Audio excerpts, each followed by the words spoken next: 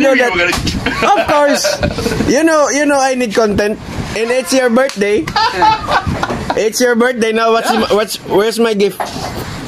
It's a reverse here in the Philippines. It's um still in the convenience store. It's the oh, okay. Tell them it's from me. I'll, I'll pick it up tomorrow Yeah, tell them it's from me. from your truck.